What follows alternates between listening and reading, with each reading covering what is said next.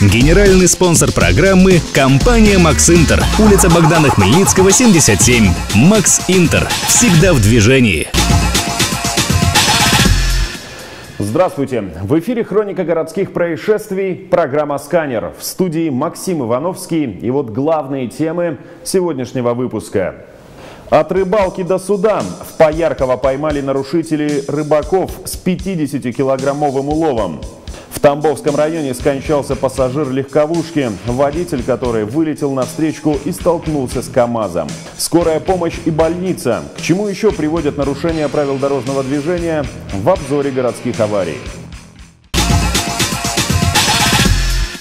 Двух рыбаков-нарушителей поймали пограничники на реке Амур в районе села Поярково. У них сотрудники нашли более 500 экземпляров речной рыбы. За незаконную рыбалку жители села Поярково задержали 10 октября во время действующего запрета на ловлю любой рыбы в реке Амур. У мужчин забрали резиновую лодку, э, ставные сети и весь улов. Это около 50 килограммов рыбы. В отношении них составили административные протоколы. В итоге по решению суда нарушителей наказали штрафом в 4000 рублей, рассказали в пресс-службе Амурского пограничного управления ФСБ. В Амурской области на трассе разбился автобус. Попавший в аварию транспорт принадлежит предприятию «Стройтранснефтегаз», отмечает газета «Зейские огни». Происшествие произошло накануне в районе 7 часов утра. На 114-м километре автодороги Благовещенск-Свободный водитель ПАЗа не справился с управлением. Транспорт врезался в дерево. В результате водитель автобуса получил травмы.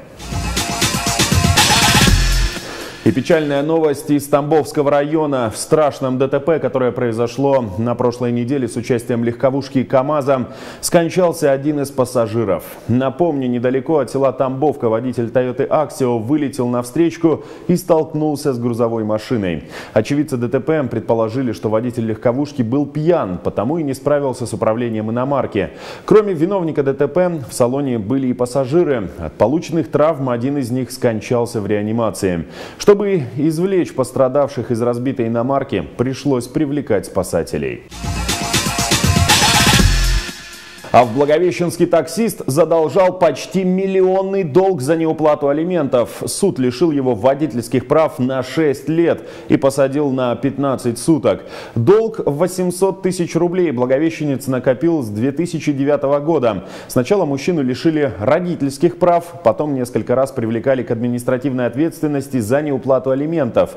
Потом нерадивого отца лишили водительских прав. Такая мера должна была смотивировать мужчину вернуть долги по алиментам, так как он подрабатывал таксистом. Но во время очередного рейда приставы и сотрудники ГИБДД поймали лишенного прав горе-отца за рулем. Из салона автомобиля его доставили в суд. В итоге неплательщика лишили водительских прав на 6 лет и назначили 15 суток административного ареста. И о других происшествиях на дорогах города. В Благовещенске за минувшие сутки инспекторы ДПС выявили 350 нарушений правил дорожного движения. Штрафы получили и водители, и пешеходы. Кроме этого произошло 15 аварий. Есть и пострадавшие. Далее подробнее об этом. На пересечении улиц Амурской и Пушкина столкнулись универсал и пассажирский автобус. Движение авария не парализовало, но затруднило. Участники ДТП перегородили одну из полос по улице Амурской. Автобус маршрутом К двигался по главной, а Toyota Probox по второстепенной Пушкина. Водитель универсала выскочил на перекресток, не пропустив маршрутное авто. В результате виновник ДТП получил серьезную травму. Его на скорой увезли в больницу. На загородный Outlander не пропустил Ладу Калина. Японский внедорожник выскочил со второстепенной на загородную, где в потоке двигался отечественный универсал. Лада Калина под удар подставила правый бок. Внедорожник жертве выбил стекло со стороны пассажирского сиденья. Предварительно кто-то из участников аварии пострадал. На место ДТП вызвали бригаду медиков.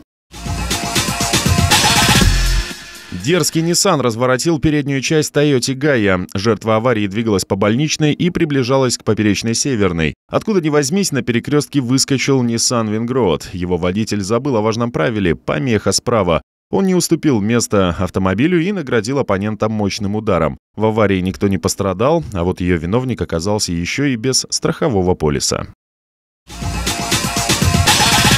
Неприятно удивил водитель внедорожника. Такому поведению никто не обрадовался, тем более автомобилист на Колдине. Он ехал за Ниссаном по загородной. Внезапно впереди идущий попутчик тормозит и сдает назад. Долго пятиться ему не пришлось. Он наехал на серый универсал. Позже стало известно, что таким образом водитель внедорожника хотел припарковаться. Разлетелись в разные стороны. Nissan Presage и Toyota Caldina. Они столкнулись на перекрестке улиц Артиллерийская и Горького. Оба участника уверяли, что ехали на зеленый сигнал светофора. Очевидно, что кто-то из них не хотел признаваться, поэтому вызвали экипаж ДПС. Но, как говорится, из песни слов не выкинешь. Очевидцы аварии в один голос утверждают, что это именно Калдина пересекала перекресток на красный. «Жигули» устроили аварию на парковке у торгового центра со стороны Пролетарской. Водитель отечественного седана, разворачиваясь, не уступил иномарке. «Тойота» катилась на перерез виновнику. В итоге машины застыли под прямым углом. Помощь медиков никому не понадобилась. А вот к авторемонтникам прямая дорога. Видеоматериалы предоставлены компанией «Экспертно-правовой центр». Обратиться за помощью экспертов при ДТП вы можете на загородной 171Б города Благовещенска. Ну а в завершении программы напомню вам о том, что вы можете присылать свои видео к нам в Instagram Директ, сканер ДТП-28, либо звонить по телефону 50 12 12. На сегодня же это все. Помните, что ваша безопасность прежде всего в ваших руках.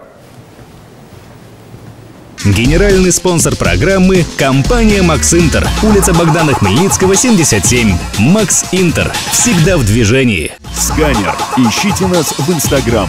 Сканер ДТП 28.